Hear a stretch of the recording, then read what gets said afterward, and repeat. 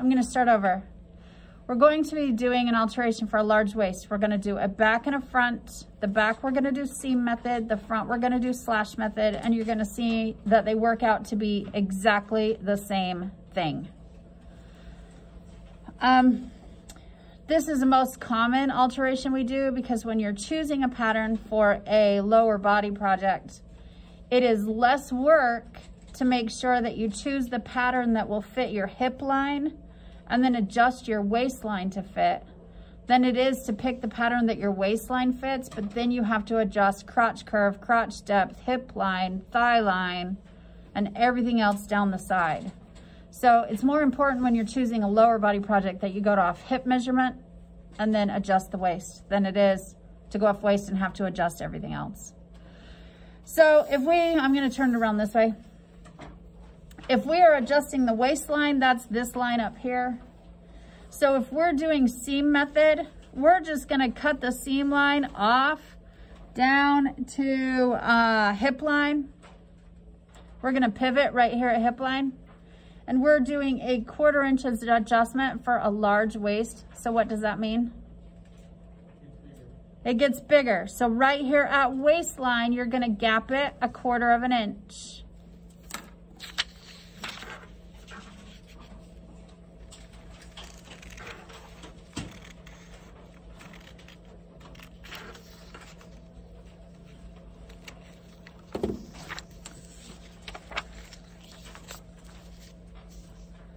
Okay, I'm gonna secure my paper onto the stationary piece below so it doesn't shift.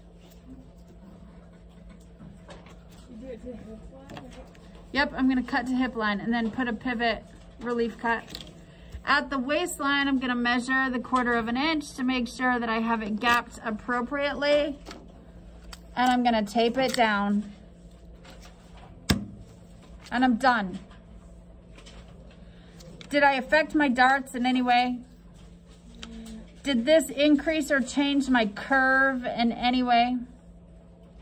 Do I need to fold my darts to correct this? Nope, just, that's it.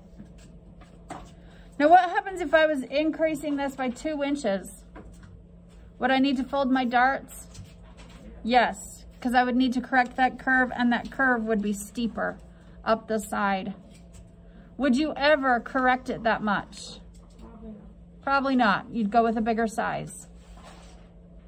Now, if I add a quarter of an inch here and know that we're correcting, we're doing a front and a back in tandem, and I've added a quarter of an inch here, what am I adding to the front? So how much have I increased the circumference of these pants at the waist?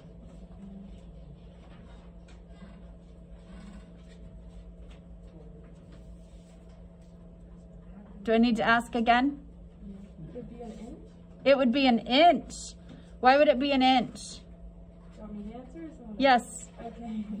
because you've got two front pieces, two back pieces. You add a fourth on each of them.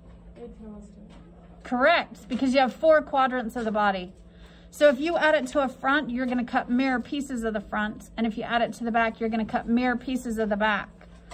So when you're doing your lower body project and you need to add an inch and a half to a waistline, you need to first divide that by four so that you get uh, an equivalent number for each quadrant. And then you're gonna only add that one fourth to a front and a back.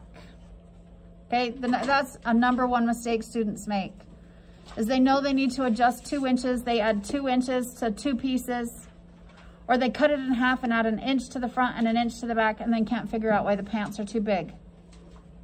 Okay, it's pretty common.